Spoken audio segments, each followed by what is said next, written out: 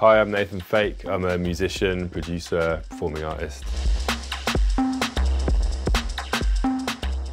I got into electronic music when I was like a teenager, basically. I just started getting ideas for writing my own music. I used to play the keyboard and then I saved up some money and bought a drum machine and some other bits of gear. Eventually I just ended up making some tracks that some labels wanted to release. From there, really, yeah. I guess the genre of my early stuff was heavily influenced by stuff like Orbital, maybe electro, techno club music, I think. I was really into that at the same time. Um, pretty similar to how I to how I sound now, I guess, but just sort of just better produced these days.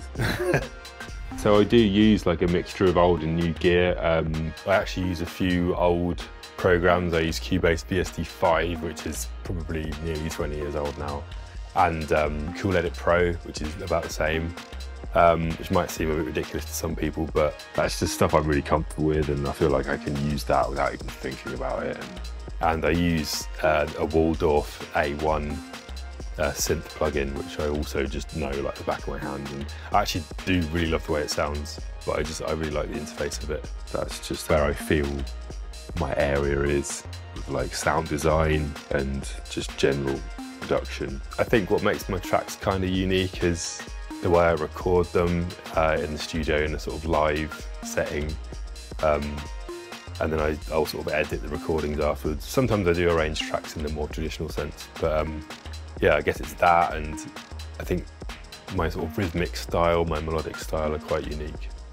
My latest EP release is uh, Blizzard's Remixes, so that's got um, two remixes by Afrodeutsche and Irene Dresel, and um, a live version of Torch Song, which is from Blizzard's the album, and a new track called Sandstone.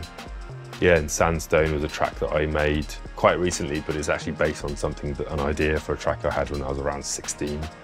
Um, and I sort of recreated it from memory. Uh, it seems to be a popular track so far, so that's good. Yeah, so I just made a pack for Loopcloud, Loop Masters. I think the Blizzard Drums pack does live in the same world as Blizzard's the album because a lot of the drum sounds are from tracks that I tracks that are from that album. It's quite a drum heavy album and I really wanted to make a drum pack based on that. The preset kits I made, they're made using uh, various instruments that I've got, like drum machines and synthesizers that I've sort of built sounds with from scratch. And some of them are like kind of vocal, like beatbox kind of drum sounds, um, which is what exactly what I used on Blizzards. They're just I kind of based it on those, on the drums used on the album, yeah. I had a lot of fun making the preset patterns that I made. Loopcloud drum is great compared to like the drum machine that I first owned. It's very obvious like how to use it, like with the different drum sounds. And you can assign the sounds to the pads and you can edit them a lot, which is what I love actually. It's the thing with old drum machines that old sort of digital drum machines, you sort of couldn't really edit the sound much at all, whereas um, drum has just got like like a massive pitch control, which I love. I love that sort of thing because you can completely change the sound and also the envelope controls and yeah, it's great. It's really fun to use. So I recently did a tour of the UK. Um, yeah, that was that was great. I mean, that was obviously a big deal because it was the first time I did some gigs after pandemic. I wasn't sure what to expect from like the vibe of doing gigs, but it was better than I ever expected. Um, when I play live, I have I use Ableton Live like a lot of people, um, but I, I have every single sort of percussion sound and every single MIDI part there in the live arrangement.